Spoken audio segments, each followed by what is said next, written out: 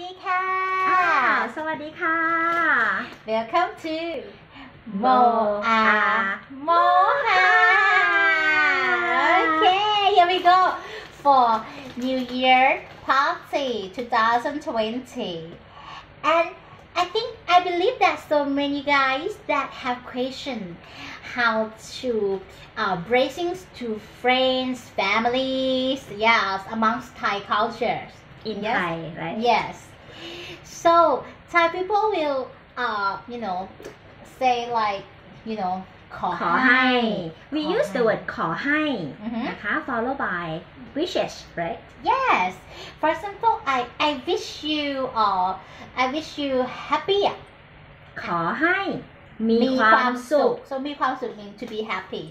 Uh, so when you translate it, it's like, uh, I wish you be a happy person. อืม Oh, I wish you be something ใช่ or I wish you like uh lucky อะขอให้ Lucky โชคดี โชคดี means lucky เออ and or I wish you uh like stay strong and be healthy อือฮึ uh, how to say ฉันขอให้คุณ สุขภาพ แข็งแรง Mm, Okay, and what else have for wishing like um uh, okay. If, mm-hmm.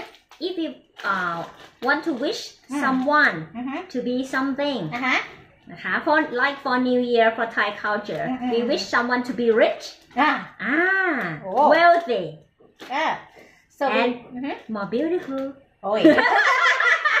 can be no more ขอให้สวยสวยอ่าขอให้โม รวยรวย I wish Mo to be rich โอเค ขอให้โม รวยรวย ขอบคุณค่ะ and ขอให้โม สวยๆ beautiful ขอให้โม มีความสุข oh happy Yes.